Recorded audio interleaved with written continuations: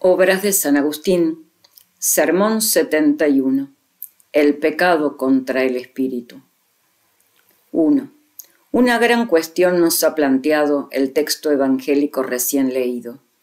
Por lo que a mí se refiere, no estoy capacitado para resolverla, pero nuestra capacidad viene de Dios, en la medida en que podamos recibir o aceptar su ayuda.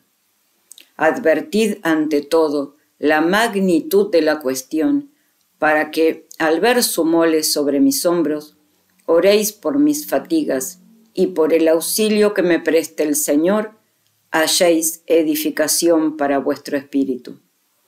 Se le presentó al Señor un ciego y mudo que tenía un demonio, y lo curó de modo que comenzó a hablar y a ver. La muchedumbre quedó estupefacta, diciendo, ¿Es este acaso el hijo de David? Cuando los fariseos oyeron esto, dijeron, Este no arroja los demonios, sino por Belcebú, príncipe de los demonios. Pero Jesús, conociendo sus pensamientos, les dijo, Todo reino dividido contra sí mismo será asolado, y una ciudad o casa dividida contra sí no subsistirá. Y si Satanás expulsa a Satanás, está dividido contra sí mismo. ¿Cómo pues subsistirá su reino?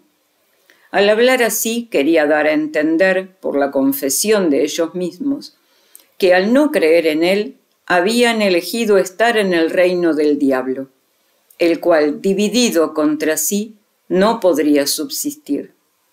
Elijan, pues, los fariseos lo que quieran. Si Satanás no puede expulsar a Satanás, no pudieron hallar nada que decir contra el Señor. Y si puede, miren más bien por sí mismos y salgan de su reino, que dividido contra sí no puede subsistir. 2. ¿Por obra de quién expulsa los demonios Cristo el Señor? Para que no piensen los fariseos en el príncipe de los demonios, presten atención a lo que sigue. Y si yo, dice, expulso los demonios por Belcebú, ¿por quién los expulsan vuestros hijos? Por eso ellos serán vuestros jueces. Sin duda dijo esto refiriéndose a sus discípulos, hijos de aquel pueblo, los cuales, en cuanto discípulos del Señor Jesucristo, sabían bien que no habían aprendido de su buen maestro ninguna, mala arte para arrojar los demonios por obra del príncipe de los demonios. Por eso dice, ellos serán vuestros jueces. Estos, dice, que son lo innoble y despreciable de este mundo, en los que no hay artificiosa malignidad, sino que aparece la santa simplicidad de mi poder estos, que son mis testigos, serán vuestros jueces. Luego añade, pero si yo expulso los demonios en el Espíritu de Dios, entonces ha llegado a vosotros el reino de Dios. ¿Qué significa esto? Si yo, dice, expulso los demonios en el Espíritu de Dios, tampoco podrían expulsarlos de otra manera vuestros hijos a los que no he dado una doctrina maligna, sino una fe sencilla. Sin duda ha llegado a vosotros el reino de Dios, mediante el cual queda derrocado el reino del diablo, y también vosotros si no cambiáis. 3.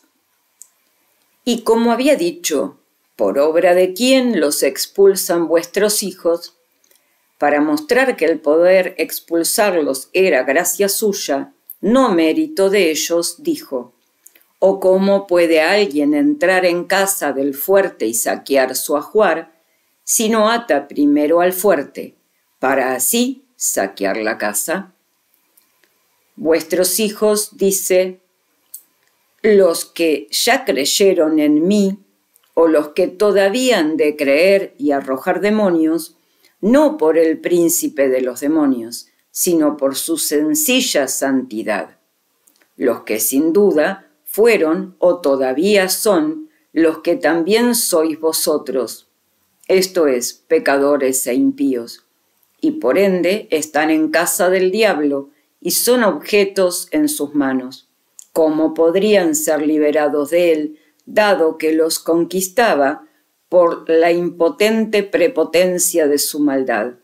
Si no lo hubiera atado con los lazos de mi justicia y le hubiese quitado sus objetos, objetos de ira, para hacerlos mis útiles de misericordia? Esto es lo que el bienaventurado apóstol reprocha a los orgullosos y a los que en cierto modo se glorían de sus propios méritos. Pues, ¿quién te distingue? Es decir, ¿quién te distingue de la masa de perdición originada en Adán y de los objetos de ira? Y para que nadie responda mi justicia, añade, que tienes que no lo hayas recibido, por ello dice, incluyéndose a sí mismo, también nosotros fuimos en otro tiempo naturalmente hijos de ira, como los demás.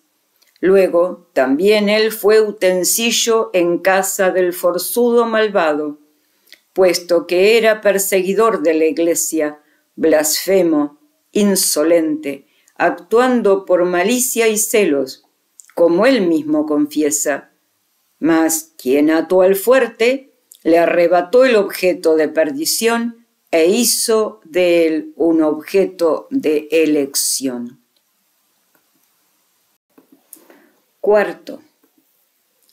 Y para que no creyeran los incrédulos e impíos, enemigos del nombre cristiano, que a causa de los diversos cismas y herejías originados por quienes, bajo denominación cristiana, reúnen rebaños de gente perdida. También el reino de Cristo está dividido contra sí mismo. Añade a continuación, quien no está conmigo está contra mí, y quien no recoge conmigo desparrama. No dijo, quien no lleva mi nombre, o quien no lleva el signo externo de mi sacramento, sino quien no está conmigo está contra mí. Tampoco dijo, quien no reúne llevando mi nombre, sino quien no recoge conmigo desparrama.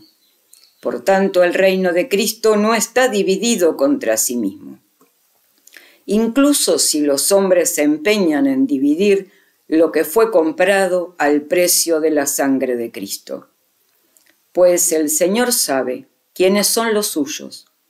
Apártese, dice, de la maldad todo el que invoca el nombre del Señor. En efecto, si no se aparta de la maldad, no pertenece al reino de Cristo, aunque lleve el nombre de Cristo.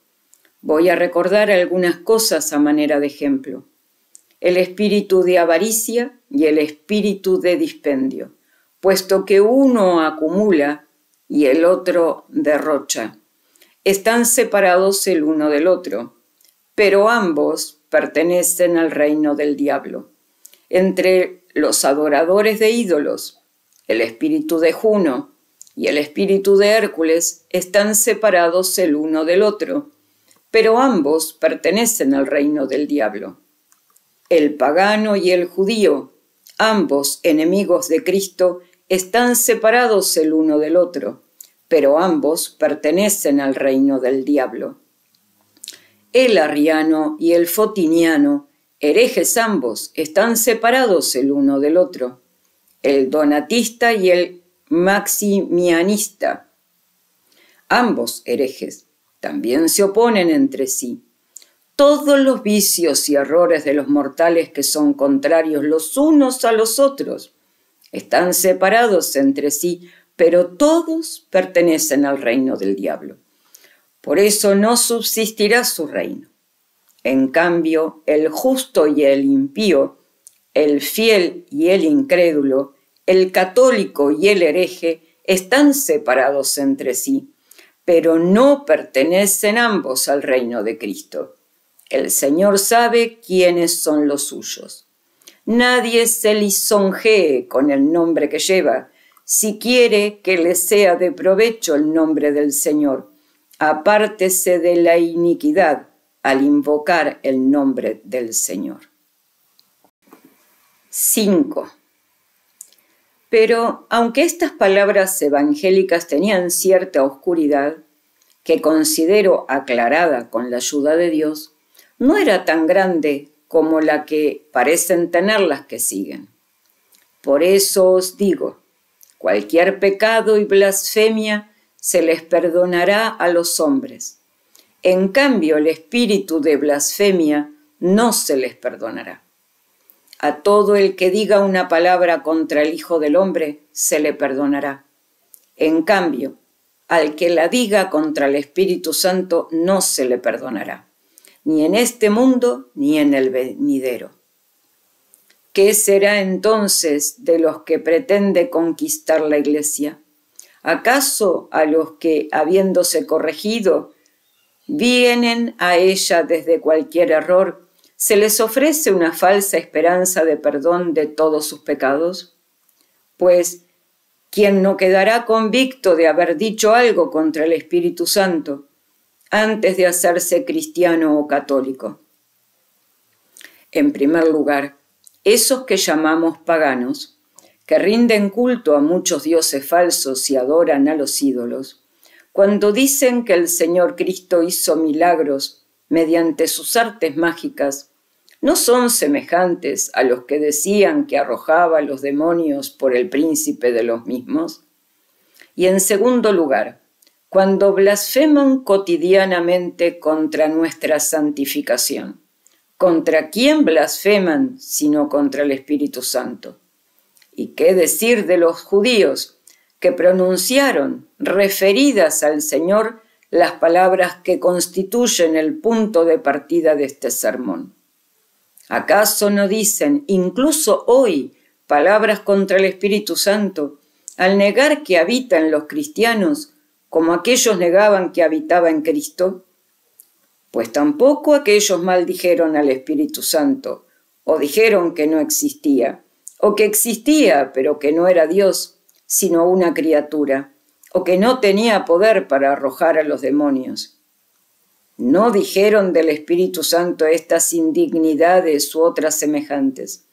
En efecto, los saduceos negaban que existiese el Espíritu. En cambio, los fariseos defendían su existencia contra los herejes saduceos, pero negaban que habitaba en el Señor Jesucristo, quien según ellos arrojaba los demonios por el príncipe de los mismos cuando los arrojaba por el Espíritu Santo. Por eso, los judíos y todos los herejes que confiesan la existencia del Espíritu Santo niegan que habite en el cuerpo de Cristo, que es su única iglesia, ciertamente no otra que la única católica. Sin duda, son semejantes a los fariseos, quienes, si bien aún entonces confesaban que existe el Espíritu Santo, negaban, no obstante, que habitara en Cristo, cuya obra de expulsión de los demonios atribuían al príncipe de los demonios. Omito decir que hay herejes que se engañan en sostener que el Espíritu Santo no es creador, sino una criatura, como los arrianos, los eunomianos y los macedonianos, o niegan absolutamente su existencia afirmando que Dios no es Trinidad, sino que solamente el Padre es Dios, y a Él mismo a veces se le llama Hijo y a veces Espíritu Santo, como los sabelianos, a los que algunos llaman patripasianos, porque sostienen que fue el Padre quien sufrió la pasión. Al negar que tenga un hijo, niegan sin duda la existencia del Espíritu Santo. También los fotinianos, al sostener que solo el Padre es Dios y que el Hijo, en cambio, es solo un hombre, niegan que exista en absoluto la tercera persona, el Espíritu Santo. 6. Es pues manifiesto que tanto los paganos como los judíos y herejes blasfeman contra el Espíritu Santo. Habrá que abandonarlos y juzgarlos sin esperanza alguna, por ser irrevocable la sentencia, al que diga una palabra contra el Espíritu Santo, no se le perdonará ni en este mundo ni en el venidero? habrá que pensar que sólo están libres de la culpa de ese pecado gravísimo los que son católicos desde su infancia.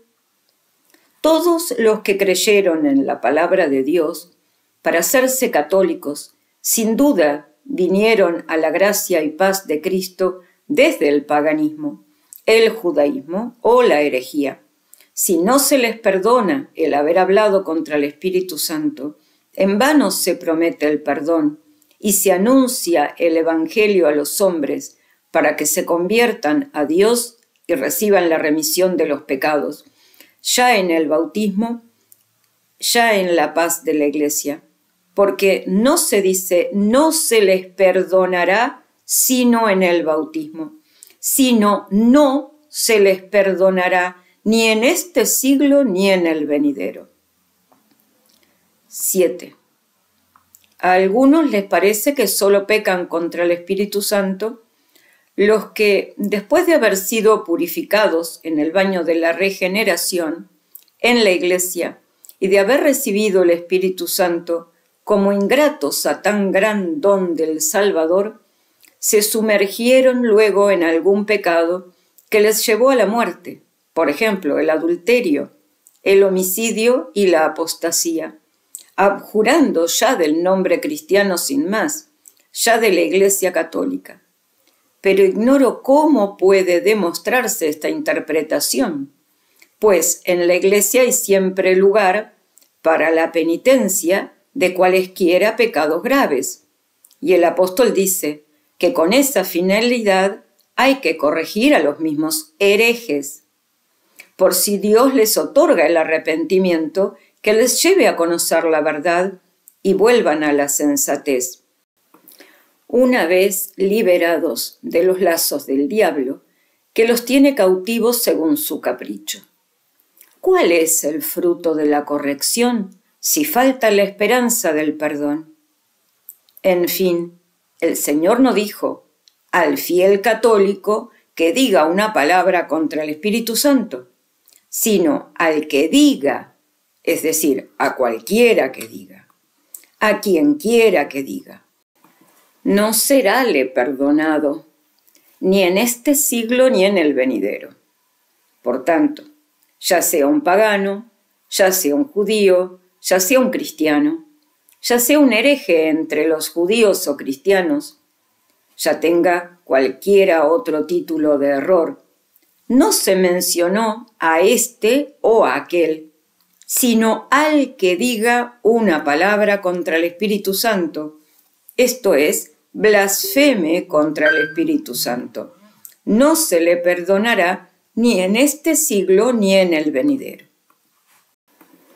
Al contrario, si todo error contrario a la verdad y enemigo de la paz católica, como antes he mostrado, dice algo contra el Espíritu Santo.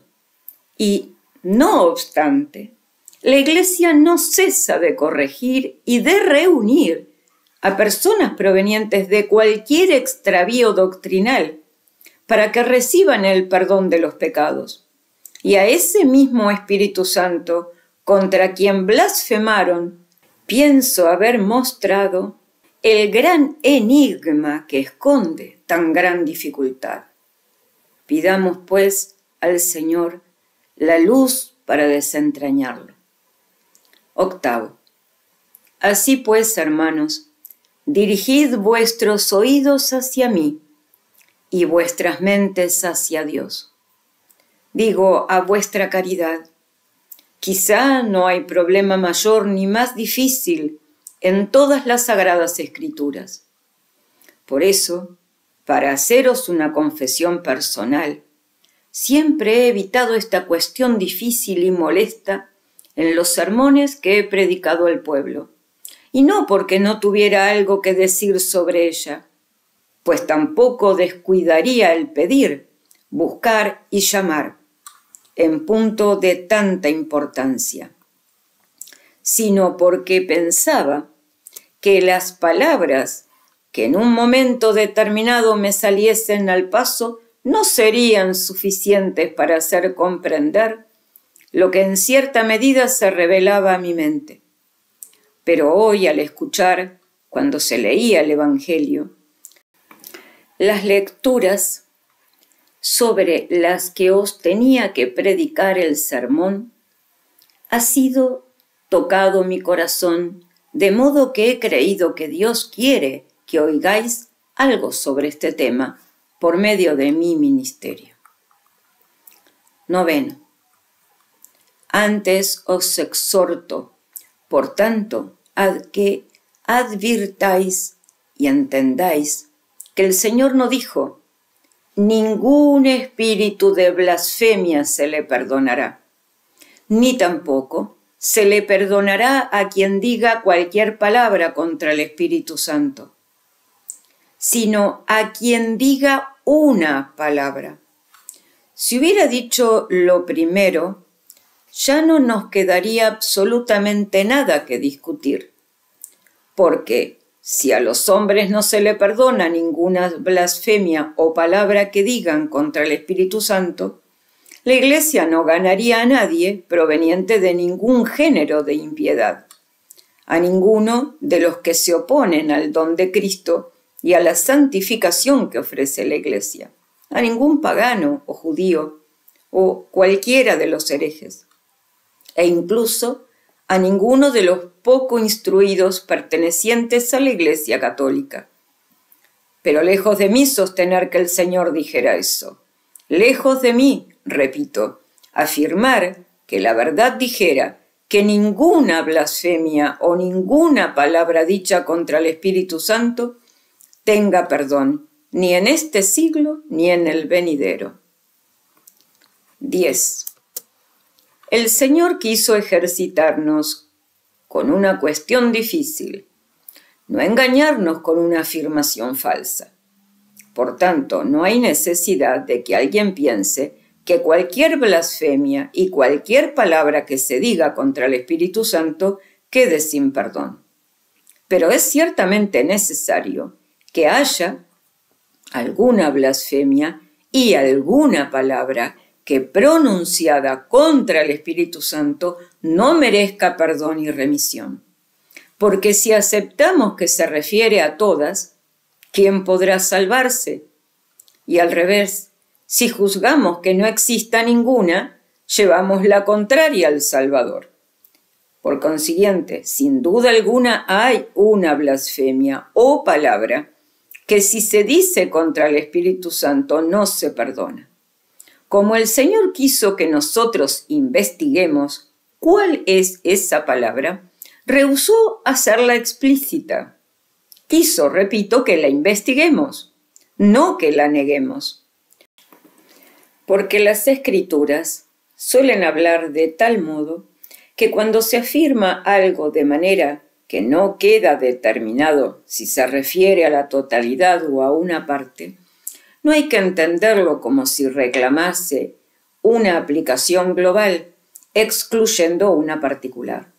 Por tanto, esa afirmación se interpretaría en sentido global, esto es, con valor universal, si se dijera, ningún espíritu de blasfemia se perdonará, o a todo el que diga cualquier palabra contra el Espíritu Santo, no se le perdonará ni en este mundo ni en el venidero se interpretaría en sentido particular, esto es, con valor parcial, si se dijera cierta blasfemia contra el espíritu no se perdonará.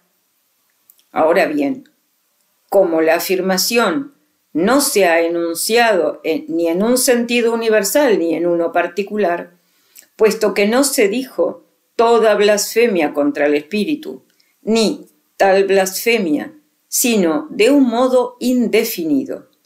La blasfemia contra el Espíritu no se perdonará. Ni se dijo a quien diga cualquier palabra o a quien diga tal palabra, sino de modo indefinido, a quien diga una palabra. No es necesario que entendamos cualquier blasfemia o cualquier palabra, de necesidad es aceptar que el Señor quiso dar a entender cierta blasfemia y cierta palabra, pero no quiso hacerla explícita, para que, si pidiendo, buscando, llamando, recibamos una comprensión recta, no la tengamos en poco. 11. Para ver esto con mayor claridad, prestad atención a lo que dijo el Señor mismo de los judíos. Si yo no hubiese venido y les hubiese hablado, no tendrían pecado. Tampoco dijo esas palabras como si quisiera que se entendiese que los judíos iban a carecer de absolutamente todo pecado si él no hubiese venido y no les hubiese hablado. En efecto, los encontró llenos y cargados de pecados. Por ello dice, venid a mí todos los que estáis fatigados y cargados. ¿De qué sino de la carga de pecados? Debido a sus transgresiones de la ley, porque la ley entró para que sobreabundara el delito. Por lo tanto, como el mismo Señor dice también en otro lugar, no he venido a llamar a los justos, sino a los pecadores.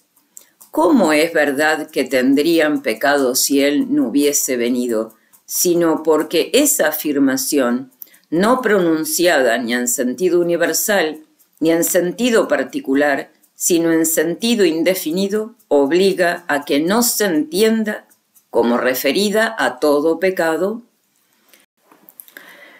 Pero sin duda, si no pensamos en un pecado determinado, el que no tendrían los judíos de no haber venido Cristo y haberles hablado, diríamos, lejos de nosotros que la afirmación es falsa.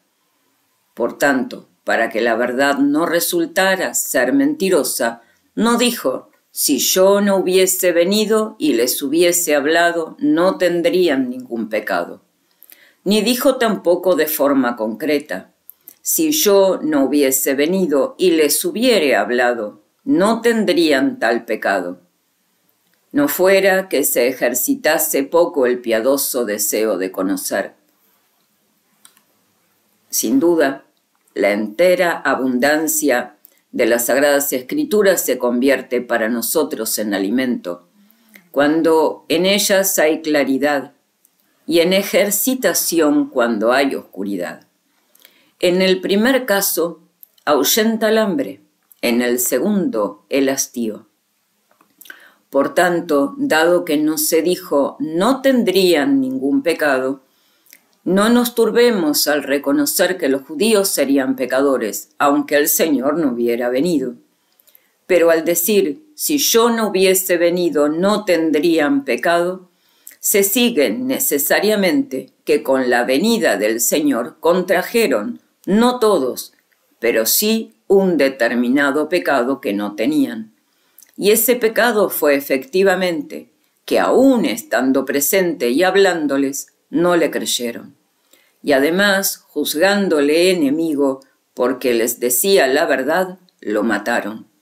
Evidentemente no tendrían ese pecado tan grande y horrendo si él no hubiera venido y les hubiere hablado.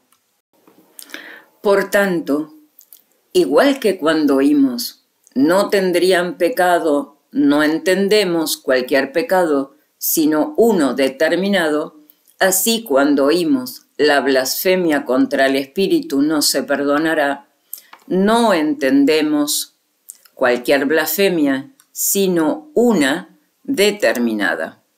Y cuando oímos a quien diga una palabra contra el Espíritu Santo, no se le perdonará, no debemos entender cualquier palabra, sino una determinada. 12.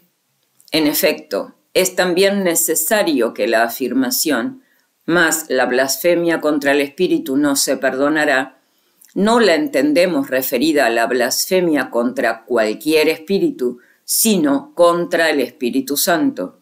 Y aunque no lo hubiera expresado con más claridad en otro lugar, ¿Quién sería tan insensato que, entendiese otra cosa? Conforme a esa manera de hablar, hay que entender también este texto. Si alguien no renace del agua y del Espíritu, pues tampoco se dice ahí del Espíritu Santo, y no obstante se sobreentiende.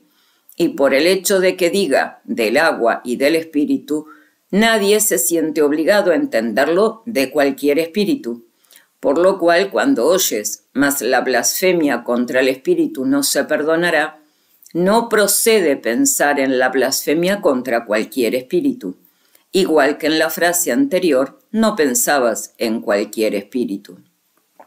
13. Veo que ya queréis oír cuál es esa blasfemia contra el espíritu que no se perdonará, ya que no se trata de toda blasfemia. ¿Y cuál es la palabra? Dado que no es toda palabra, que pronunciada contra el Espíritu Santo no se perdonará ni en este siglo ni en el venidero. También yo quisiera decir ya lo que con toda atención esperáis oír, pero tolerad que por afán de ser más completo me demore por algún tiempo, hasta que con la ayuda del Señor os explique todo lo que pasa por mi mente. En efecto, otros dos evangelistas, Marcos y Lucas, al hablar de este punto, no, no dijeron blasfemia o palabra, para que no entendamos cualquier blasfemia, sino cierta blasfemia, ni cualquier palabra, sino cierta palabra. ¿Qué dijeron entonces? En Marcos está escrito, en verdad os digo, que a los hijos de los hombres les serán perdonados cualesquiera pecados y blasfemias que hayan proferido. Mas el que blasfeme contra el Espíritu Santo no tendrá nunca perdón, sino que será reo de un delito eterno. Y en Lucas se lee esto. A todo el que diga una palabra contra el Hijo del Hombre se le perdonará, pero al que blasfeme contra el Espíritu Santo no se le perdonará. ¿Acaso porque se da alguna diferencia en las palabras se apartan estas de la verdad de la misma frase?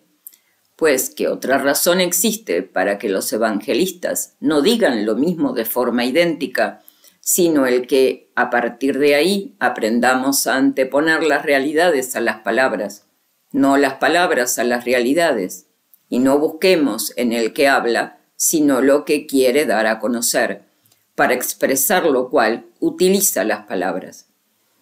¿Qué diferencia hay entre decir el espíritu de blasfemia no se perdonará y decir al que blasfeme contra el Espíritu Santo no se le perdonará. A no ser tal vez que este segundo texto dice lo mismo que el primero, solo que con mayor claridad, y que un evangelista no niega, sino que expone lo que afirma el otro. Mas la blasfemia contra el Espíritu es una expresión oscura, dado que no ha indicado de qué espíritu pues no cualquier espíritu es un espíritu santo. Asimismo, se puede hablar del espíritu de blasfemia, cuando alguien blasfema con el espíritu, igual que se puede decir oración del espíritu, cuando alguien ora con el espíritu, razón por la que dice el apóstol, oraré con el espíritu, oraré también con la mente. En cambio, al decir al que blasfeme contra el Espíritu Santo, se eliminan las ambigüedades. Asimismo el texto no tendrá nunca perdón, sino que será reo de un delito eterno. ¿Qué otra cosa indica, sino lo que se lee en Mateo? No se le perdonará ni en este mundo ni en el venidero. Con otras palabras y otro modo de hablar se ha afirmado exactamente lo mismo. Y para que en las palabras de Mateo al que diga una palabra contra el Espíritu Santo no entendamos sino la blasfemia, los otros evangelistas lo dijeron más claramente, al que blasfeme contra el Espíritu Santo. Todos afirmaron lo mismo y ninguno de ellos se apartó de lo que quiso decir el que hablaba, para entender lo cual se pronuncian, escriben, leen y oyen las palabras. Pero 14. Pero dirá alguno, ved que he aceptado y entendido que cuando se dice blasfemia sin añadir cualquiera, o tal se puede entender cualquiera, aunque no es necesario, pero si no se sobreentiende cierta, es falso lo que se dice. Lo mismo cuando se dice palabras sin añadir cualquiera o tal. No es necesario entender cualquiera, pero si no se sobreentiende al menos cierta, no puede ser verdadero lo que se afirma. Pero donde se lee el que blasfeme, ¿cuándo puede entender cierta blasfemia donde no se lee blasfemia o cierta palabra donde no se lee palabra, sino que se dice como en general el que blasfeme? A esa contradicción respondo de esta manera. Incluso si aquí se dijera a quien blasfeme con cualquier blasfemia contra el Espíritu Santo. No habría motivo para buscar una determinada blasfemia, pues deberíamos entender cualquier blasfemia. Pero como no se puede entender cualquier blasfemia, para no quitar la esperanza del perdón, aunque se corrijan a los paganos, judíos, herejes y a toda clase de hombres, que con sus diferentes errores y contradicciones blasfeman contra el Espíritu Santo, solo queda entender el texto. El que blasfeme contra el Espíritu Santo no tendrá ningún perdón, referido a uno que no blasfeme de cualquier modo, sino de un modo concreto que nunca se le pueda perdonar. 15. En el pasaje Dios no prueba a nadie. Hay que entender que Dios no prueba a nadie con determinada prueba. De lo contrario, resultaría falso lo que está escrito. El Señor Dios vuestro os prueba. Y se negaría que Cristo es Dios o se afirmaría que es falso el Evangelio, en el que leemos que Él preguntaba a un discípulo para probarlo, aunque Él ya sabía lo que iba a hacer. En efecto, hay una prueba que conduce al pecado la tentación con la que Dios no prueba a nadie, y hay otra que comprueba la fe, de la que Dios se digna hacer uso. Pues de igual manera, cuando oímos el que blasfeme contra el Espíritu Santo, no debemos entenderlo de cualquier tipo de blasfemia, como tampoco allí entendemos todo tipo de prueba. 16. Asimismo, cuando oímos, quien crea y se bautice se salvará. No lo entendemos ciertamente de uno que crea a la manera de los demonios. Creen, pero también tiemblan. Ni de uno de los bautizados en cuyo número estaba Simón Mago, que pudo bautizarse, pero no salvarse.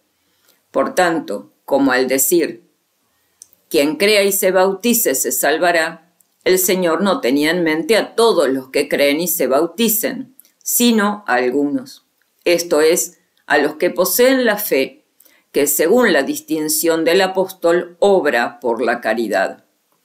De la misma manera, al decir, el que blasfeme contra el Espíritu Santo no tendrá nunca perdón, no contemplaba toda culpa, sino tan solo una determinada, que si alguno quedaba atado con ella, nunca se le desataría con el perdón. 17. Además, ¿cómo hemos de entender estas palabras? Quien come mi carne y bebe mi sangre permanece en mí y yo en él. ¿Acaso hemos de entender aquí también a aquellos de quienes afirma el apóstol que comen y beben su propia condenación cuando comen esa carne y beben esa sangre? ¿Acaso también Judas, que vendió al Maestro y le traicionó impíamente, permaneció en Cristo y Cristo en él, aunque comió y bebió con los demás discípulos el sacramento de su carne y sangre, confesionado por primera vez con sus manos, como lo indica más claramente el evangelista Lucas? Para seguir, hay muchos que o comen dicha carne y beben dicha sangre con corazón fingido, o que después de haberla comido y haberla bebido, se hacen apóstatas. ¿Acaso permanecen ellos en Cristo y Cristo en ellos? Hay efectivamente cierto modo de comer esa carne y de beber esa sangre, y quien así come la una y bebe la otra permanece en Cristo y Cristo en él. Por lo tanto, no todo el que coma la carne de Cristo y beba su sangre de cualquier manera permanece en Cristo y Cristo en él, sino quien lo hace de una determinada manera, modo que ciertamente tenía en mente Jesucristo cuando pronunciaba esas palabras. Pues, del mismo modo, al decir él que blasfeme contra el Espíritu Santo no tendrá nunca perdón, no afirma que todo el que blasfeme de cualquier modo es reo de ese delito irremisible, sino el que blasfeme de cierta manera, que quiso que busquemos y entendamos el que profirió esa afirmación verdadera y terrible. 18. A mi parecer ha llegado ya el momento lógico de deciros cuál es ese modo más exactamente falta de modo de blasfemar. ¿Cuál la blasfemia y cuál la palabra contra el Espíritu Santo? No procede hacer esperar ya más a esa vuestra expectación, a la que he tenido en suspenso durante tanto tiempo, aunque por necesidad.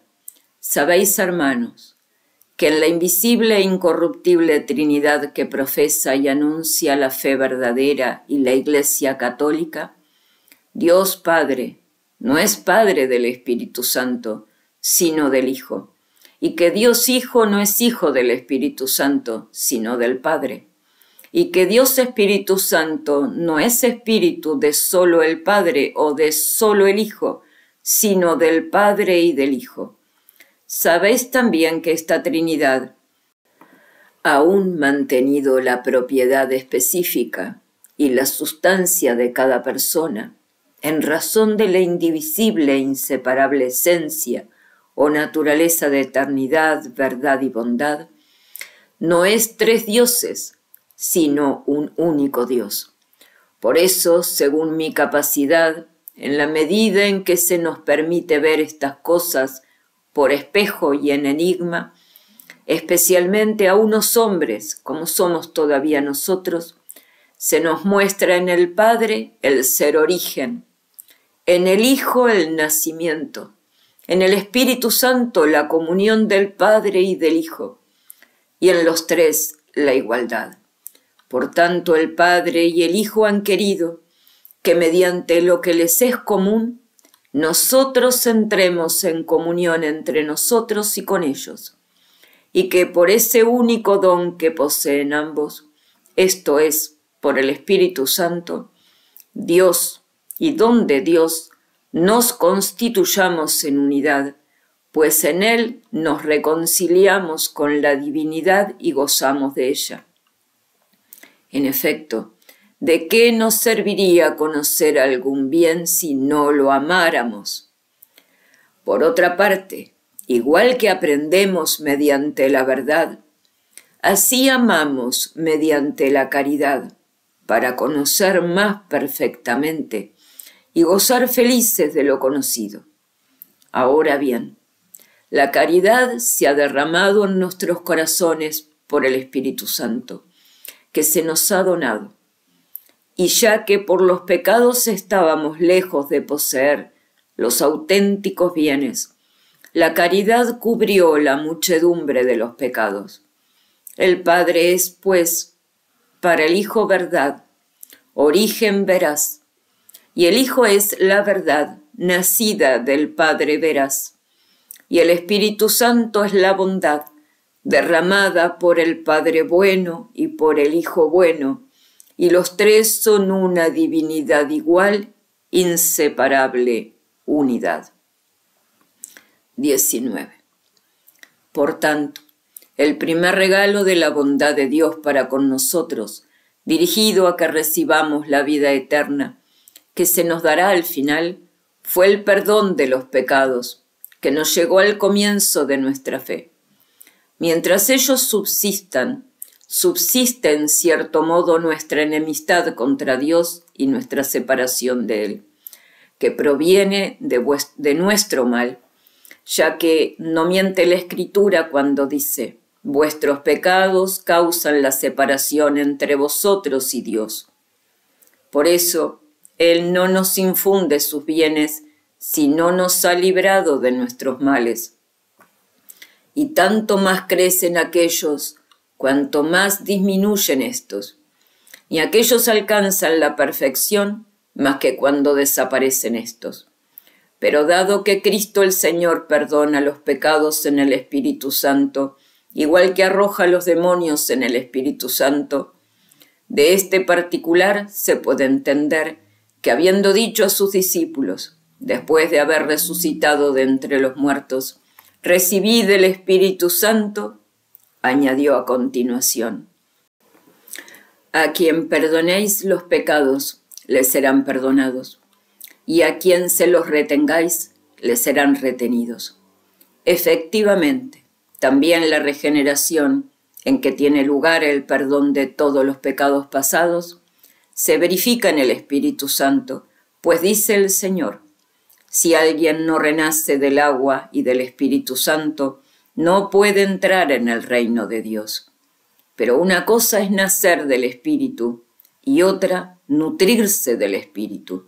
Igual que una cosa es nacer de la carne, que acontece en el parto de la madre, y otra cosa es nutrirse de la carne, que acontece cuando la madre amamanta al niño. Este se dirige a la mujer de la que nació, buscando la satisfacción que obtiene de su pecho, a fin de vivir y recibir el alimento con que pervivir de la misma de la que recibió el comenzar a existir.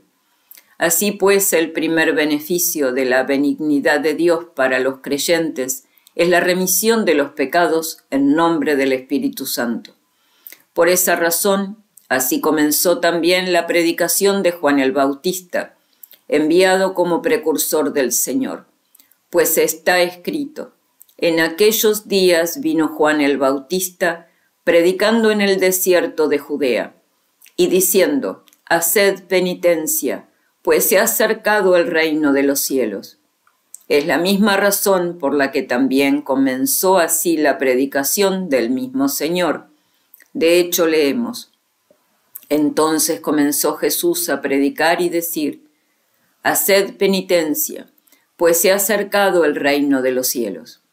A su vez, Juan, entre otras cosas que dijo a los que se acercaron a que los bautizara, se cuenta esto. Yo ciertamente os bautizo con agua en señal de arrepentimiento. Mas el que ha de venir después de mí es más poderoso que yo, y no soy digno de llevar su calzado. Él os bautizará en Espíritu Santo y fuego. También dice el Señor, Juan bautizó con agua, mas vosotros seréis bautizados con Espíritu Santo, que recibiréis dentro de pocos días, hasta Pentecostés. En cuanto a lo que dijo Juan y fuego, aunque puede entenderse de la tribulación que por el nombre de Cristo iban a sufrir los creyentes, no se aleja de la realidad que el Espíritu Santo mismo aparezca, designado con el nombre de fuego. Por eso se dijo también a propósito de su venida. Aparecieron lenguas distintas como de fuego que se posó a sí mismo sobre cada uno de ellos. Por idéntica razón dijo también el Señor mismo, fuego vine a traer al mundo. Por lo mismo dice también el apóstol, hirviendo en el Espíritu, pues del Espíritu le viene el hervor, dado que se derraman nuestros corazones por el Espíritu Santo que se nos ha donado. A ese hervor se opone lo que dijo el Señor se enfriará la caridad de muchos. Ahora bien, la caridad perfecta es el don perfecto del Espíritu Santo. Antes, sin embargo, llega lo que atañe al perdón de los pecados, el beneficio por el que somos sacados del poder de las tinieblas y por el que el príncipe de este mundo es arrojado fuera por nuestra fe el que no obra en los hijos de la infidelidad, si no es por el derecho que le otorga el tenerlos unidos y atados por el pecado. Pues en ese Espíritu Santo, por el que el pueblo de Dios es congregado en unidad, es arrojado el espíritu inmundo dividido contra sí mismo. contra este don gratuito, contra esta gracia de Dios habla el corazón impenitente. Y esa misma impenitencia es la blasfemia contra el Espíritu, que no se perdona ni en este siglo ni en el venidero. De hecho, ya sea con el pensamiento, ya sea también con la lengua, pronuncia una palabra malvada e impía en extremo contra el Espíritu Santo, Espíritu en el que son bautizados todos aquellos cuyos pecados son perdonados y que ha recibido la Iglesia para que al que se le perdonen le queden perdonados. La persona que, aunque la paciencia de Dios la impulse al arrepentimiento, llevada por la dureza de su corazón y por su corazón impenitente, atesora para sí ira en el día de la ira y de revelación del justo juicio de Dios, que pagará a cada uno según sus obras. Por tanto, esta falta de arrepentimiento, pues de esta única manera podemos designar de algún modo tanto la blasfemia como la palabra contra el Espíritu Santo que nunca serán perdonadas. Esta falta de arrepentimiento, repito, contra la que gritaba el alguacil y el juez diciendo, haced penitencia, pues se ha acercado el reino de los cielos. No tienen absoluto perdón ni en este mundo ni en el venidero pues que es el arrepentimiento el que alcanza en este mundo un perdón que valga en el venidero. Para oponerse a esa falta de arrepentimiento, abrió el Señor la boca de la predicación evangélica y predijo que se predicaría el Evangelio en todo el orbe. En la misma circunstancia en que después de la resurrección dijo a los discípulos, convenía que Cristo padeciera y resucitase de entre los muertos al tercer día, y que en su nombre se predicase el arrepentimiento y el perdón de los pecados por todos los pueblos, comenzando por Jerusalén. Pero esta falta de arrepentimiento o oh corazón impenitente no puede ser juzgada mientras la persona vive en esta carne. Pues respecto de nadie hay que perder la esperanza, mientras la paciencia de Dios la impulsa al arrepentimiento y no arrebata de esta vida al impío, ya que no quiere la muerte del pecador, sino que se convierta y viva. Hoy es pagano. ¿Cómo sabes si mañana no será cristiano? Hoy es judío incrédulo. Y si mañana cree en Cristo, hoy es hereje. Y si mañana se atiende a la verdad católica, hoy es sismático. Y si mañana abraza la verdad católica, y si mañana abraza la paz católica, y si estos a los que incluyes en cualquier clase de error y que condenas como ya sin esperanza, se arrepienten antes de acabar esta vida y encuentran la vida verdadera. Por lo tanto, hermanos, os sirva también de advertencia a este respecto lo que dice el apóstol. No juzguéis nada antes de tiempo. Esta blasfemia contra el Espíritu, que no admite perdón alguno, que entendemos que no es cualquier blasfemia, sino una determinada, y que dicho o descubierto, o según pienso, mostrado que es la persistente dureza de un corazón impenitente, no se le puede advertir a nadie mientras se halla en esta vida, según acabo de indicar. 22. Lo dicho no tiene que pareceros absurdo en efecto, aunque una persona que persevera hasta el fin de su vida en una terca falta de arrepentimiento hable durante mucho tiempo y abundantemente contra esta gracia del Espíritu Santo, tan larga oposición del corazón impenitente, se designa en el Evangelio como palabra, cual si fuese algo de breve duración, al decir al que diga una palabra contra el Hijo del Hombre, se le perdonará. En cambio, al que la diga contra el Espíritu Santo, no se le perdonará ni en este mundo ni en el venidero. De hecho, aunque esta blasfemia sea prolija, conste de muchas palabras y aparezca dilatada en el tiempo, la escritura suele llamar también palabra a muchas palabras. Ningún profeta habló solo una palabra, y sin embargo se lee así, palabra que fue dirigida a este u otro profeta.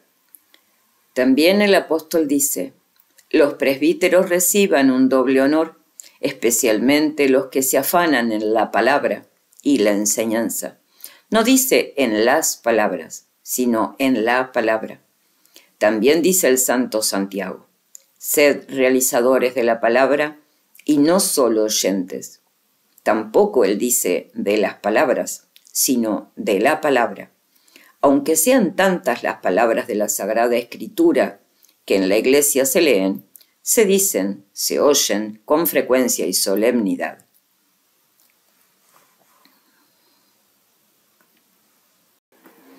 Así pues, por mucho que sea el tiempo en que cualquiera de nosotros se afane en predicar el Evangelio, no se le llama predicador de palabras, sino de la palabra. Asimismo, por mucho tiempo que cualquiera de vosotros escuche con diligencia y fervor mi predicación, no se dice de él que sea un enamoradísimo de escuchar palabras, sino la palabra.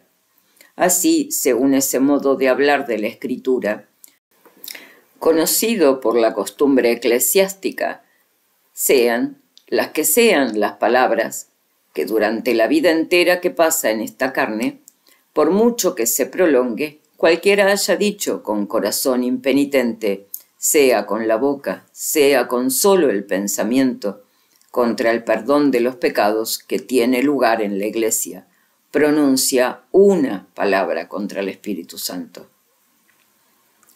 23. Por eso, no solo la palabra que se diga contra el Hijo del Hombre, sino absolutamente cualquier pecado o blasfemia se perdonará a los hombres, porque donde no existe el corazón impenitente, el pecado contra el Espíritu Santo, por quien se perdonan los pecados en la iglesia, todos los demás se perdonan. Pero ¿cómo va a perdonarse ese que impide el perdón de los otros también? Se les perdonan, pues, todos, mientras no esté entre ellos ese que nunca se perdonará. Si está entre ellos, ya que éste no se perdona, tampoco son perdonados los demás, pues la remisión de todos la impide la atadura que supone ese pecado. Luego, si al que diga una palabra contra el Hijo del Hombre se le perdonará, y en cambio al que la diga contra el Espíritu Santo no se le perdonará, no se debe a que en la Trinidad el Espíritu Santo sea mayor que el Hijo, cosa que nunca ha defendido nadie. Aunque fuere hereje, se debe a que todo el que opone resistencia a la verdad y blasfema contra la verdad que es Cristo, incluso después de anunciarse a los hombres de forma tan prolongada que la palabra se hizo carne y habitó entre nosotros, palabra que es el Hijo del Hombre, Cristo mismo en persona, si no pronuncia la palabra del corazón impenitente contra el Espíritu Santo, del que se dijo, el que no renazca del agua y del Espíritu Santo, y recibid el Espíritu Santo, a quien perdonaréis los pecados le serán perdonados, esto es, si se arrepiente recibirá mediante este don la remisión de todos los pecados, y a la vez de la palabra que haya dicho contra el Hijo del Hombre. La razón es que al pecado de ignorancia o de contumacia, o de otra blasfemia cualquiera, no añadido el de falta de arrepentimiento, que se opone al don de Dios y a la gracia de la regeneración y reconciliación, que tienen lugar en la Iglesia mediante el Espíritu Santo. Por tanto, 24. Por tanto, tampoco hay que aceptar lo que algunos piensan, a saber que se perdona la palabra contra el Hijo del Hombre, pero no la que se dice contra el Espíritu Santo. Porque Cristo se hizo Hijo del Hombre al asumir la carne, y mayor que esta carne es sin duda el Espíritu Santo, que por su propia sustancia es igual al Padre y al Hijo unigénito, según su divinidad, según la cual también el Hijo unigénito es igual al Padre y al Espíritu Santo. De hecho, si la razón fuese la indicada, sin duda no mencionaría ninguna otra blasfemia, y parecería que sólo está abierta al perdón la que se dice contra el Hijo del Hombre, como si se pensase que sólo es hombre. Mas, como puso delante, cualquier pecado y blasfemia se perdonará a los hombres, lo que también se encuentra en otro evangelista en estos términos. A los hijos de los hombres se les serán perdonados cualesquiera pecados y blasfemias que hayan proferido. Sin duda queda también incluida en esa afirmación general la blasfemia que se diga contra el Padre. Y sin embargo, solo se califica como irremisible la que se dice contra el Espíritu Santo. ¿Acaso también el Padre asumió la forma de siervo, por lo que es mayor el Espíritu Santo? Ciertamente no. Por ello, tras la mención global de todos los pecados y de toda blasfemia, quiso destacar, por encima de las demás, la blasfemia que se dice contra el Hijo del Hombre. El motivo es que incluso si los hombres se hallasen atados por el pecado, al que aludió al decir, si yo no hubiera venido y les hubiera hablado, ellos no tendrían pecado. Pecado que también el Evangelio, según San Juan, mostró ser muy grave, cuando al prometer que lo enviaría, dijo del Espíritu Santo, Él arguirá al mundo de pecado de justicia y de juicio, de pecado ciertamente, porque no creyeron en mí. Si esa terquedad del corazón impenitente no llega a pronunciar las palabras contra el Espíritu Santo, se le perdonaría también esa palabra dicha contra el Hijo del Hombre. 25. Llegados aquí, quizá alguno pregunte si perdona los pecados solo el Espíritu Santo o también el Padre y el Hijo? Respondemos que también los perdona el Padre y el Hijo, ya que el Hijo dice del Padre, si perdonáis los pecados a los hombres, también vuestro Padre os perdonará los vuestros. Padre al que también nosotros decimos en la oración dominical, Padre nuestro que estás en los cielos. Y entre otras cosas le pedimos también eso con estas palabras perdónanos nuestras deudas. A su vez dijo de sí mismo, para que sepáis que el Hijo del Hombre tiene potestad para perdonar los pecados en la tierra. Entonces, dices, si perdonan los pecados el Padre, el Hijo y el Espíritu Santo, ¿por qué se dice que esa falta de arrepentimiento que nunca se perdona se refiere solo a la blasfemia contra el espíritu, como si el que está atado por ese pecado pareciera oponer resistencia al don del Espíritu Santo por el hecho de que mediante ese don tiene lugar el perdón de los pecados? A este respecto también yo pregunto, si era Cristo el que expulsaba a los demonios, o los expulsaba también el Padre y el Espíritu Santo pues si solo los expulsaba Cristo, ¿cómo se entiende lo que él mismo dice? El Padre que permanece en mí, él mismo hace las obras.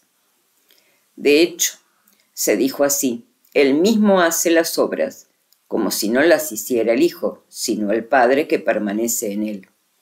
Y en este caso, ¿por qué dice en otro lugar, mi Padre obra hasta ahora, y también yo obro?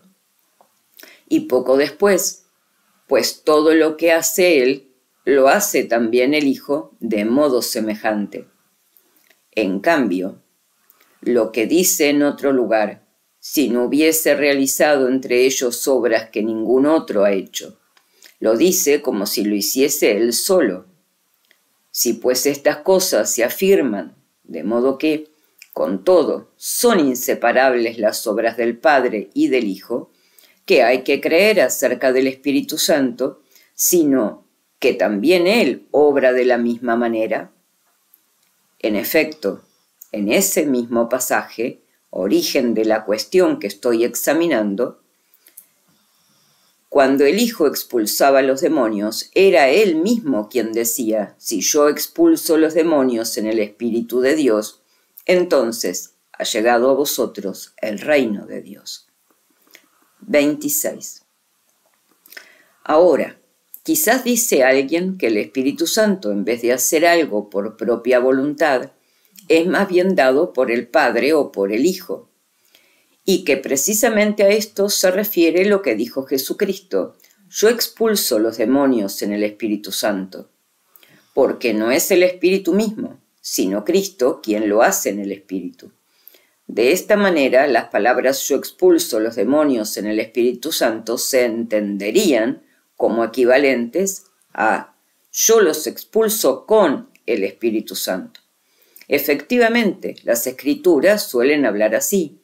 Le mataron en espada, esto es, con la espada. Incendiaron en fuego, esto es, con fuego. Y tomó Josué cuchillos de piedra en los que circuncidaría a los hijos de Israel, esto es, con los que circuncidaría a los hijos de Israel. Mas lo que por esa causa pretenden quitar al Espíritu Santo la propia iniciativa, atienden a lo que leemos que dijo el Señor. El Espíritu Santo sopla donde quiere. En cambio, en cuanto a lo que dice el apóstol, todo esto lo obra un único y mismo Espíritu. Hay que temer que alguien crea que eso no lo hacen el Padre y el Hijo, pues entre esas obras cita el don de curación y el obrar prodigios, uno de los cuales es ciertamente el expulsar demonios. Mas, al decir a continuación, distribuyendo a cada uno los suyos según su voluntad, ¿no manifiesta también un poder del Espíritu Santo, aunque plenamente indivisible, del que poseen el Padre y el Hijo? Se habla así, pero manteniendo inseparable la operación de la Trinidad, de modo que, cuando se habla de la operación del Padre, se entiende que no obra sin el Hijo y el Espíritu Santo, y cuando se habla de la operación del Hijo, no se da sin el Padre y el Espíritu Santo. Y cuando se habla de la operación del Espíritu Santo, se incluye al Padre y al Hijo. En consecuencias, saben muy bien los que poseen la recta fe, o también los que en cuanto pueden la comprenden, que las palabras Él hace las obras se refieren al Padre, porque el origen de las obras está también en la persona a las que deben la existencia las personas que colaboran en ella. En efecto, el Hijo nació de Él y el Espíritu Santo procede principalmente de aquel de quien nació el Hijo, y con quien tiene en común el Espíritu. Saben también que al decir el Señor, si yo no hubiera hecho entre ellos obras que ninguno otro hizo, no se refería al Padre y al Espíritu, como si no hubiesen cooperado en ellas, sino a los hombres que leen esos muchos milagros, ninguno de los cuales hace lo que hizo el Hijo. Saben por último, que las palabras del apóstol acerca del Espíritu Santo, todas estas cosas las hace, su, las hace un único y mismo Espíritu, no las dijo como si no cooperasen el Padre y el Hijo, sino porque en tales obras no son muchos los espíritus, sino uno solo, y en esas sus diversas operaciones no es diverso de sí mismo. 27. Sin embargo, tampoco se afirma en vano, sino lógica y verazmente, que fue el Padre, no el Hijo o el Espíritu Santo, quien dijo, Tú eres mi Hijo amado, en quien me he complacido. Pero tampoco negamos que ese milagro de la palabra, que sonaba desde el cielo, aunque pertenecía solo a la persona del Padre, se verificaba cooperando el Hijo y el Espíritu Santo. En efecto, no porque el Hijo, asumida la carne, viviese entonces con los hombres en la tierra, dejaba de estar también en el seno del Padre como palabra unigénita, cuando se produjo la voz desde la nube.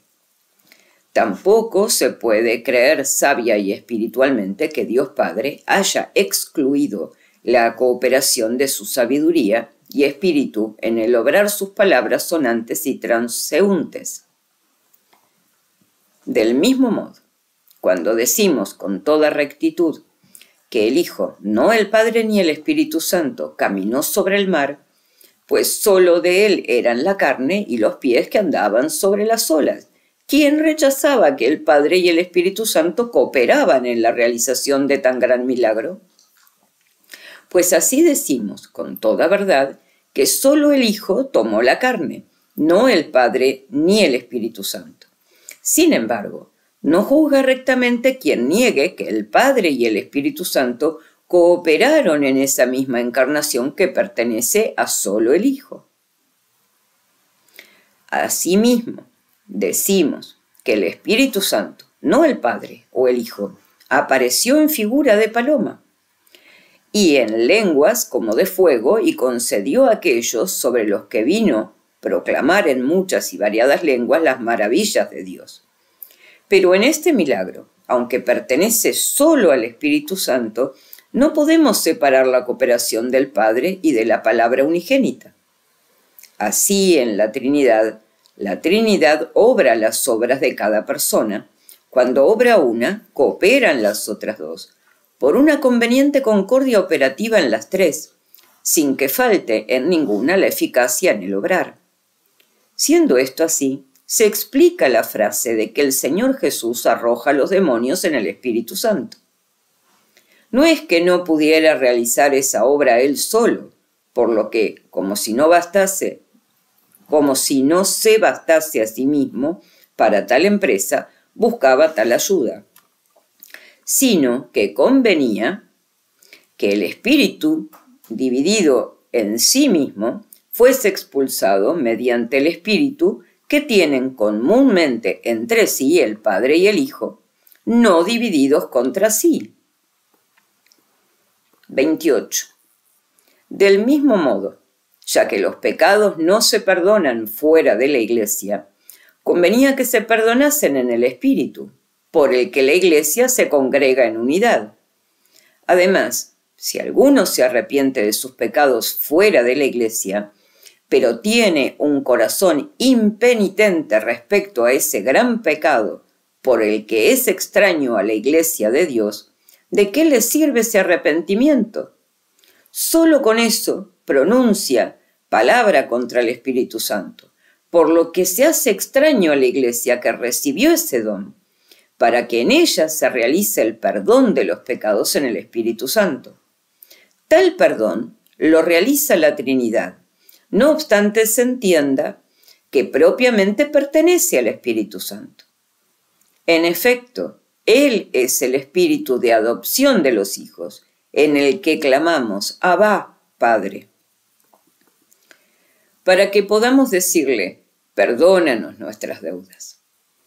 Y como dice el apóstol Juan, en esto conocemos que Cristo permanece en nosotros por el Espíritu que nos ha dado.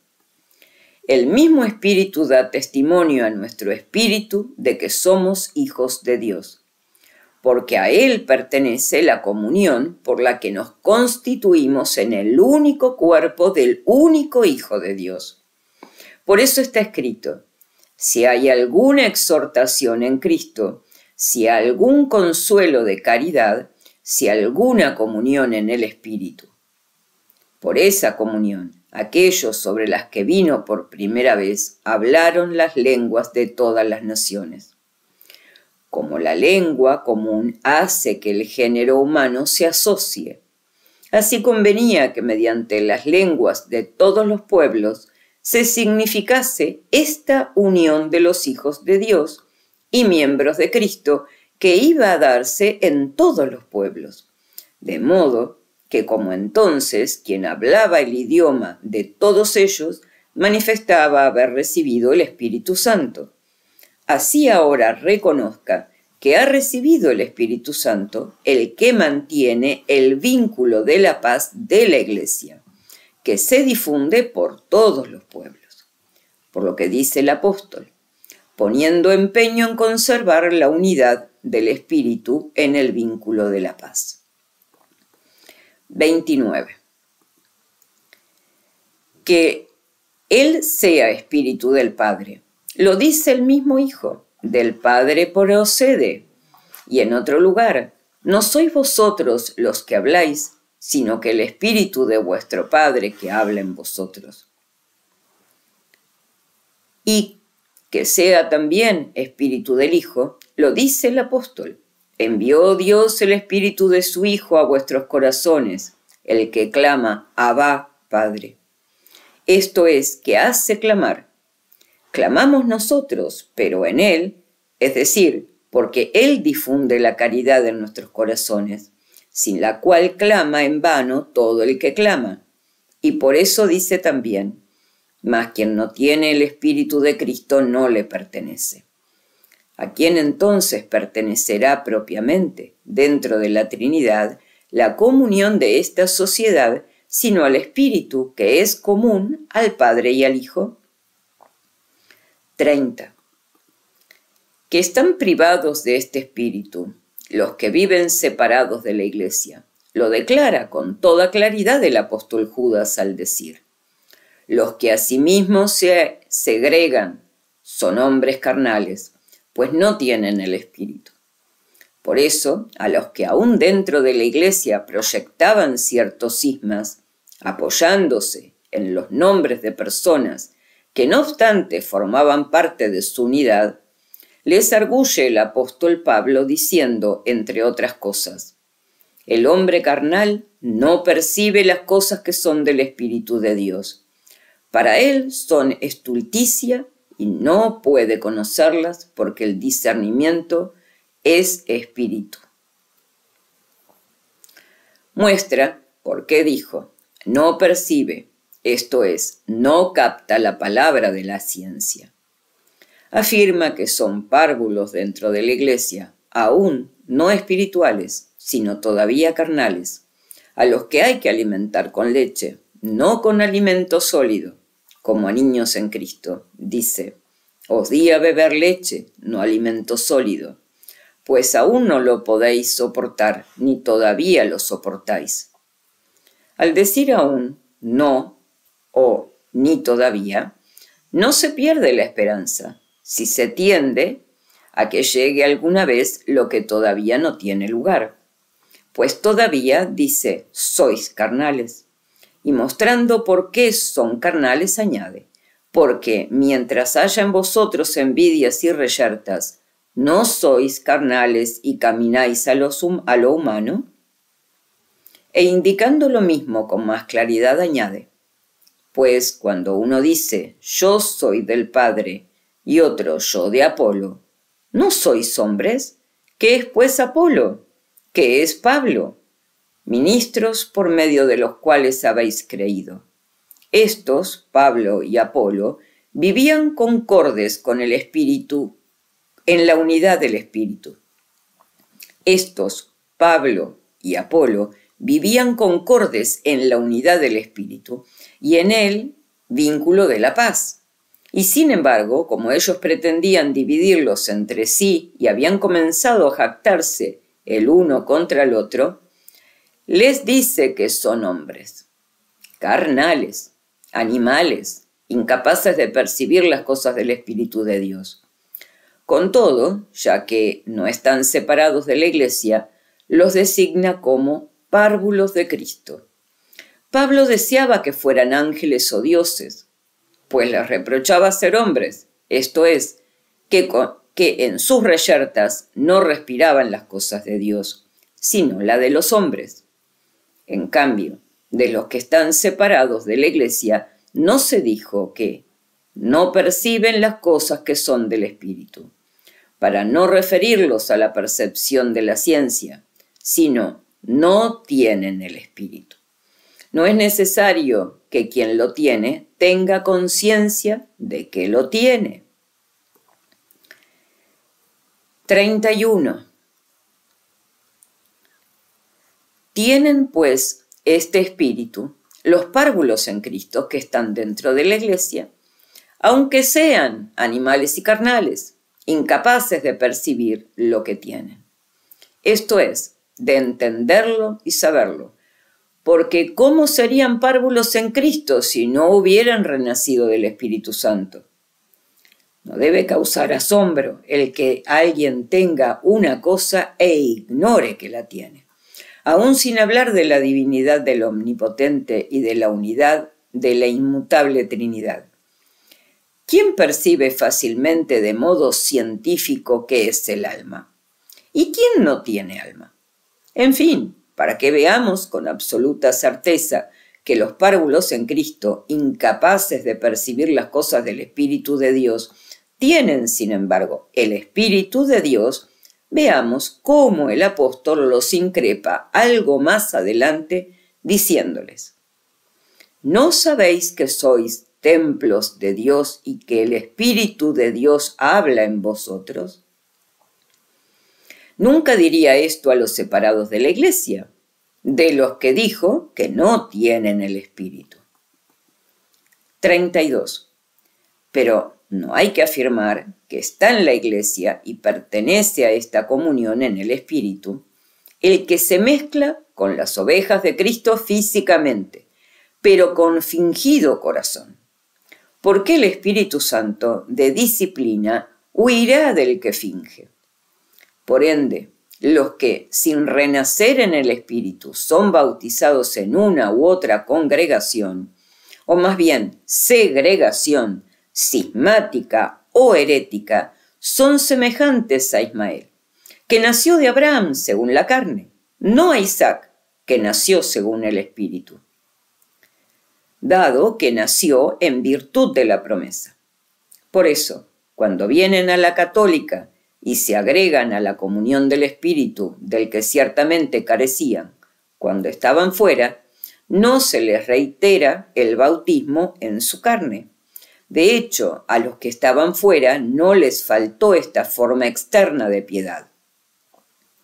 Pero se le añade lo que no se le puede dar si no están dentro, a saber, la unidad del Espíritu en el vínculo de la paz antes de ser católicos, eran como los mencionados por el apóstol. Tienen la forma externa de piedad, pero niegan su eficacia.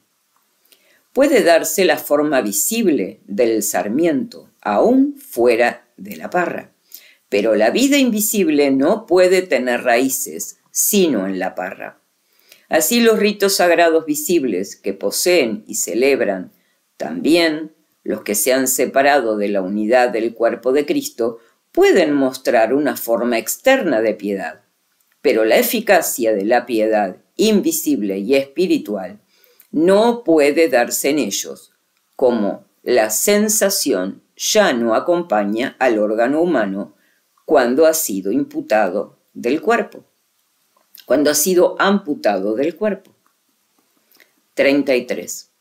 Siendo esto así, puesto que el perdón de los pecados no se otorga, sino en el Espíritu Santo, solo puede darse en la iglesia que posee el Espíritu Santo, pues esto es lo que va asociado al perdón de los pecados.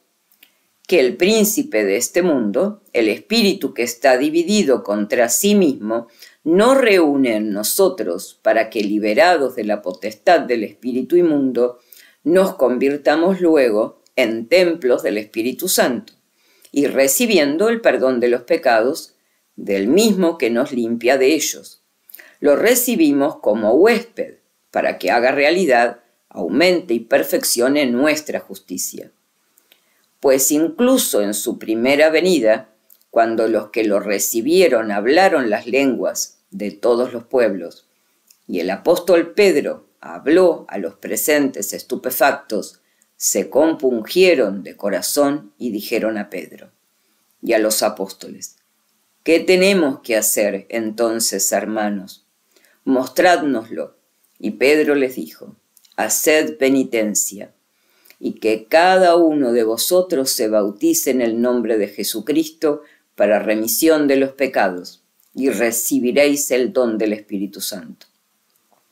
En la iglesia en la que estaba el Espíritu Santo se realizaron ciertamente ambas cosas, esto es, el perdón de los pecados y la recepción de ese don.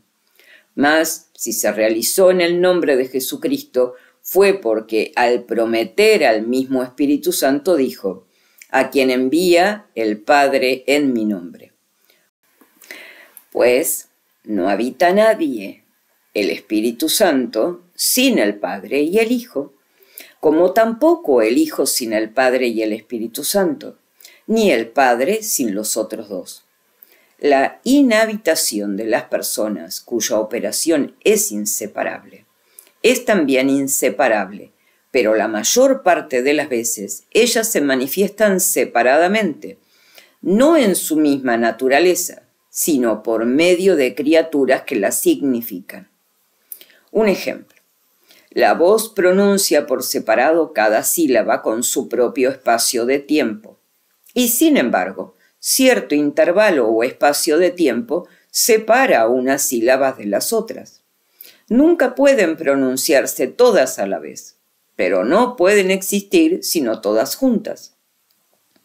Pero, como he repetido ya, el perdón de los pecados, mediante el cual se derroca y suprime el reino del Espíritu, dividido en sí mismo, y la comunión de la unidad de la Iglesia de Dios, fuera de la cual no se da el perdón de los pecados, es como obra propia del Espíritu Santo aunque cooperen el Padre y el Hijo, puesto que el Espíritu Santo mismo es, en cierto modo, la comunión del Padre y del Hijo.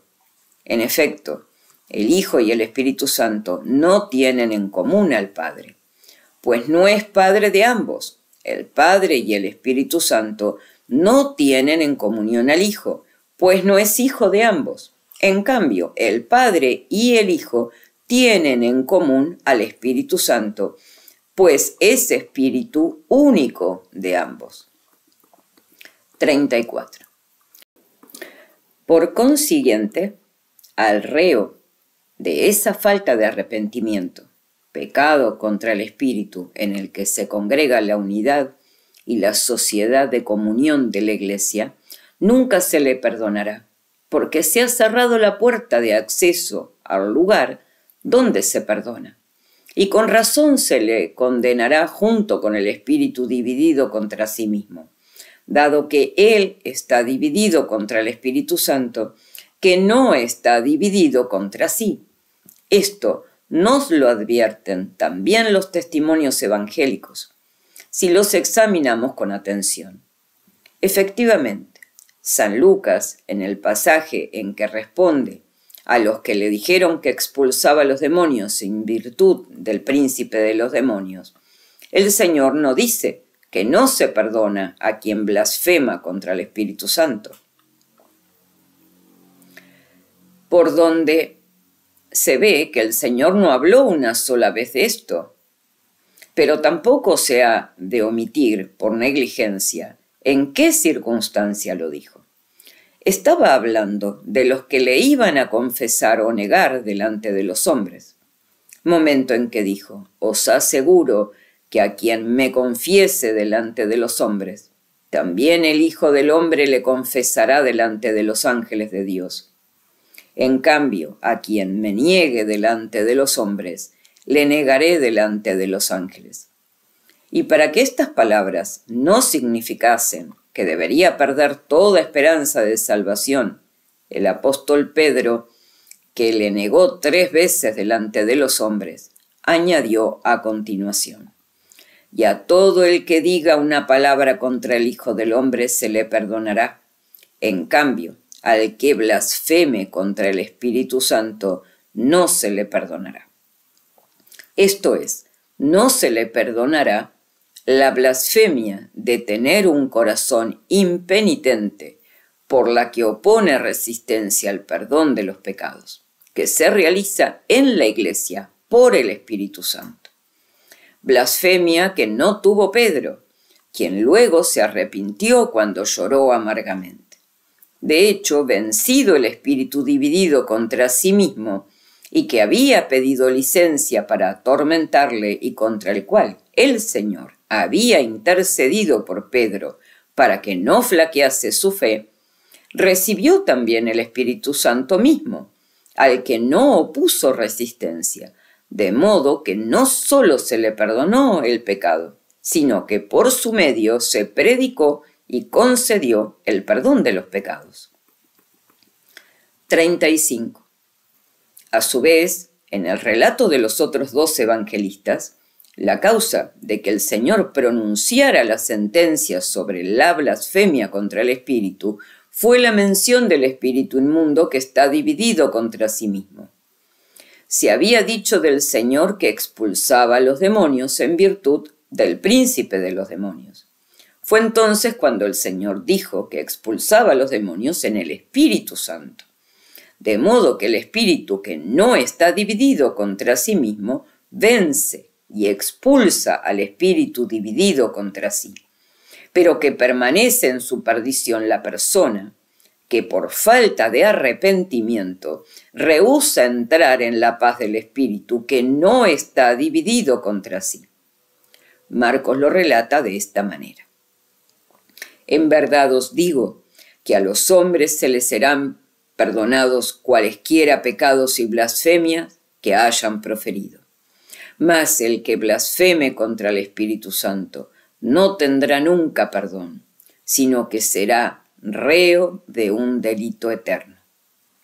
Después de citar estas palabras del Señor, las unió con las suyas, diciendo, porque ellos decían, tiene un espíritu inmundo, para mostrar que de aquí surgió el motivo para decir eso, a saber, porque los judíos habían afirmado que expulsaba los demonios por Belcebú, príncipe de los demonios. No porque sea una blasfemia imperdonable, dado que también eso se perdona, si le sigue el debido arrepentimiento, sino porque, como dije, la causa de que el Señor profiriese tal sentencia fue la mención del espíritu inmundo que el Señor mostró que estaba dividido contra sí mismo. Pero tenía en mente al Espíritu Santo que no solo no está dividido contra sí mismo, sino que incluso une a los que reúne, perdonándoles los pecados por los que están divididos contra sí y morando en ellos, una vez que los ha limpiado, a fin de que, como está escrito en los hechos de los apóstoles, la multitud de los creyentes tenga un solo corazón y un alma sola. A ese don del perdón no opone resistencia, sino el que se mantiene terco en su corazón impenitente. Pues en otro lugar los judíos dijeron del Señor que tenía un demonio. Y sin embargo entonces no dijo nada sobre la blasfemia contra el Espíritu Santo, porque no le echaron en cara que tenía un espíritu inmundo de manera que, por boca de ellos, pudiese mostrarse dividido en sí mismo como Belcebú, en virtud del cual dijeron que podía expulsar los demonios. 36. En cambio, en este mismo pasaje, según Mateo, el Señor manifestó con mayor claridad lo que aquí quería dar a entender, a saber, que pronuncia una palabra contra el Espíritu Santo, quien, con su corazón impenitente, opone resistencia a la unidad de la Iglesia, en la cual se otorga el perdón de los pecados en el Espíritu Santo. Como ya se ha dicho, no tienen ese espíritu los que incluso poseyendo y administrando los sacramentos de Cristo, viven separados de su comunión. Pues cuando Jesús habló de la división de Satanás contra Satanás, y de que él arrojaba los demonios en el Espíritu Santo, en el Espíritu que ciertamente no está dividido contra sí como Satanás. Añadió a continuación, quien no está conmigo está contra mí, y quien no reúne conmigo, desparrama. Para que nadie piense que el reino de Cristo está dividido contra sí mismo, por el hecho de que existen quienes reúnen sus capillitas bajo el nombre de Cristo, fuera, pero fuera de su redil. De esta manera mostraba que no pertenecen a él los que al reunir fuera, más que reunir, quieren desparramar. Luego añadió, por eso os digo, cualquier pecado y blasfemia se perdonará a los hombres, pero la blasfemia contra el Espíritu Santo no se perdonará. ¿Qué significa eso? ¿Acaso queda solo sin perdonar la blasfemia contra el Espíritu, porque quien no está con Cristo está contra Él, y quien no reúne con Él desparrama? Esa es la razón, sin duda, pues quien no reúne con Él, cualquiera que sea el modo como reúna bajo su nombre, carece del Espíritu Santo. 37. Este espíritu precisamente es el que nos impulsa a entender que el perdón de cualquier pecado y de cualquier blasfemia no puede darse en ningún otro lugar más que en la comunidad de Cristo que no desparrama. En efecto, ella se halla reunida en el Espíritu Santo, que no está dividido contra sí, como aquel espíritu inmundo. Y por eso todas las congregaciones, o más bien disgregaciones, que se llaman Iglesia de Cristo y que, divididas y opuestas entre sí, son enemigas de la congregación de la unidad, que su verdadera iglesia, no por ostentar su nombre, pertenecen a su congregación. Pertenecerían si estuviese dividido contra sí el Espíritu Santo, en el que se constituye como congregación. Mas como eso no ocurre, ya que quien no está con Cristo está contra Él, y quien no reúne con Él desparrama, por eso mismo cualquier pecado y cualquier blasfemia se perdonará a los hombres en esta comunidad que Cristo, nunca dividido contra sí mismo, reúne en el Espíritu Santo. En cambio, la blasfemia contra el Espíritu, a la que se debe que con un corazón impenitente se ponga resistencia a tan gran don de Dios hasta el final de la vida, no se perdonará. Pues si alguien es tan contrario a la unidad, que se opone a Dios que habla, no en los profetas, sino en su único Hijo, ya que por nosotros quiso que fuera Hijo del hombre para hablarnos en él, se le perdonará ese pecado si arrepintiéndose se convierte a la benignidad de Dios, el cual, no queriendo la muerte del impío, sino que se convierta y viva, otorgó a su iglesia el Espíritu Santo, para que cualquiera a quien perdone en él los pecados, le queden perdonados. En cambio, quien se declara enemigo de este don, de modo que no lo pide con su arrepentimiento, sino que lo contradice al rehusar arrepentirse, hace que no se le perdone no cualquier pecado, sino el de haber despreciado y hasta combatido el perdón de los pecados. Y de esta manera se pronuncia palabra contra el Espíritu Santo, cuando no se pasa de la dispersión a la congregación que recibió el Espíritu Santo para perdonar los pecados. Si alguien viene con corazón sincero a esta congregación, aunque sea por la mediación de un clérigo malo, réprobo y falso, con tal que sea ministro católico, recibe el perdón de los pecados en el mismo Espíritu Santo. Este Espíritu obra en la Santa Iglesia, aún en este tiempo en el que, como en una era, es triturada la paja, de manera que no desdeña la auténtica confesión de los pecados de nadie. No lo engaña la simulación de nadie y rehuye a los malvados. Y no obstante, incluso por su ministerio, reúne a los buenos. Así pues, el único recurso para que la blasfemia no sea irremisible es evitar el corazón impenitente. Y nadie crea que es provechoso el arrepentimiento a quien no está dentro de la iglesia, en la que se otorga el perdón de los pecados, y no mantiene la comunión del Espíritu en el vínculo de la paz. 38. Con la misericordia y la ayuda del Señor, he expuesto como he podido, si es que he podido en alguna medida, una dificilísima cuestión, lo que por su dificultad no he sido capaz de alcanzar no se impute a la misma verdad que ejercita para su salvación a los piadosos, incluso cuando se les oculta, sino a mi deficiencia que no he podido ver lo que tenía que entender o explicar lo que había entendido.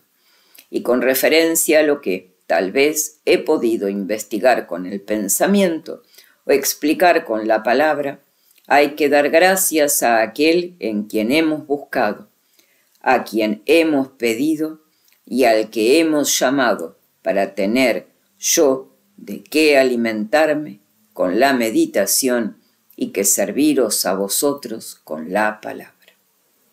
Fin de este sermón para nuestra salvación.